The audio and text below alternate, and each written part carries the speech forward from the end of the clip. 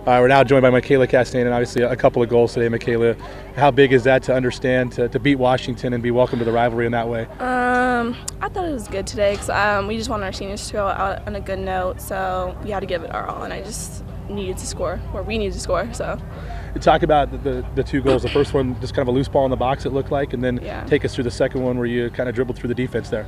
well, I didn't exactly know where I was going, but I knew I had to like make like some sort of thing happen, either pass or score. So that's what I did. All right, well, congratulations. Thanks very much. Thank you.